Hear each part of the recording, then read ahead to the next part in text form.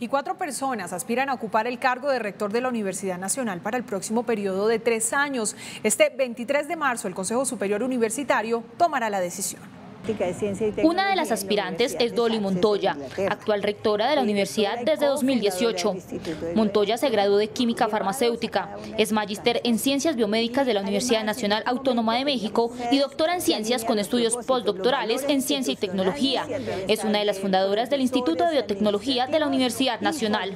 Jorge Bula es economista de la Universidad Externado de Colombia, con una maestría en Desarrollo Económico y doctorado en Sociología de la Universidad Católica de Lovaina.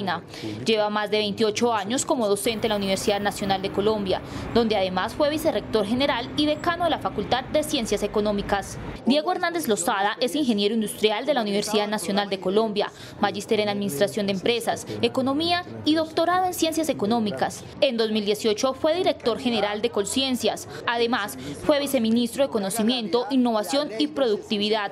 Se desempeñó como vicerrector de la Universidad Nacional de la sede de Bogotá y lleva varios años enseñando en el centro educativo. Moisés Cetré es doctor en Economía de la Universidad Autónoma de México, con maestría en la misma universidad y economista de la Universidad de Nariño. En la actualidad es docente e investigador exclusivo de la Universidad Nacional de Colombia y miembro del Sistema de Investigadores de México. Por su parte, la Universidad Externado de Colombia anunció que Hernando Parra Nieto asumió como nuevo rector de la institución, donde Parra es profesor emérito desde 2018.